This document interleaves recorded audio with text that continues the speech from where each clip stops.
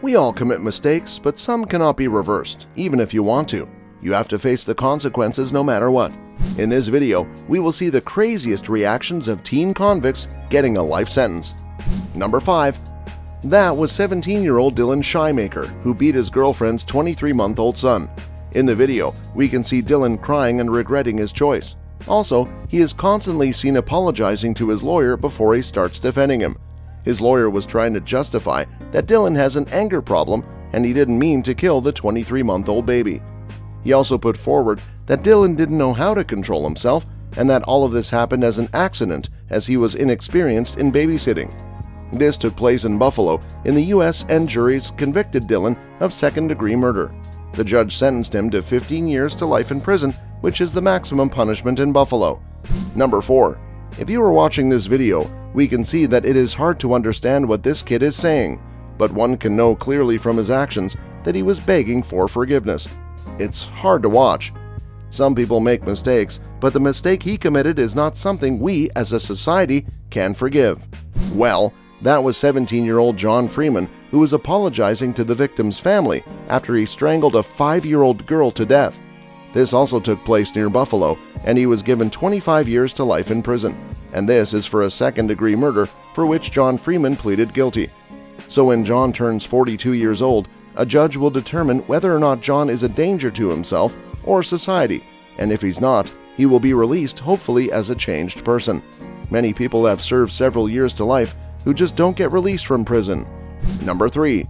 Moving on to number 3, we can see a boy crying while awaiting his verdict in court. That was 15-year-old Antonio Barbeau at the time of his trial for killing his great-grandmother in 2012. He was just 13 years old when Antonio and his friend killed her with a hatchet and a hammer, while the great-grandmother was 78 years old, which is just so sickening.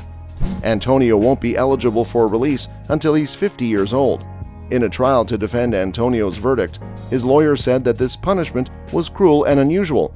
Are they kidding? There is no way the lawyer actually said that in court. How does that lawyer even sleep at night trying to get this killer out into the public sooner? The reason why Antonio killed his great-grandmother was for money. How sickening. Number 2. In this next clip, we have an 18-year-old who was sentenced to 20 years in state prison for using a dating app to set up a robbery that resulted in a shootout.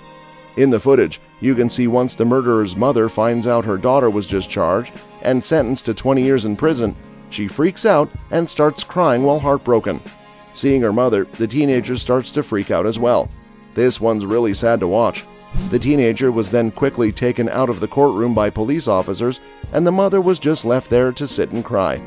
She was so heartbroken, and anybody would be as well if they just found out that their kid committed a robbery and guns were used. They were sentenced to 20 years in prison. Number 1. In this next clip, we can see this teenager swearing and showing his middle finger to the victim's family. That was TJ Lane, the teenager in front of a judge for sentencing for the school shooting in Ohio in 2012. Lane appeared at his sentencing, where he got life in prison wearing a homemade t shirt with the word killer in black marker. TJ was 17 years old when he shot and killed three students and injured three others. Although he was a minor at the time of the attack, he was tried like an adult who was given three life sentences in prison without parole. Well, there is more to the story. Just a few years after the attack, TJ was able to escape prison. This was just eight days before his birthday, and he escaped from Allen Correctional Institution in Ohio with two other inmates. He was able to escape using a makeshift ladder. They used it to scale down a fence during recreation hours.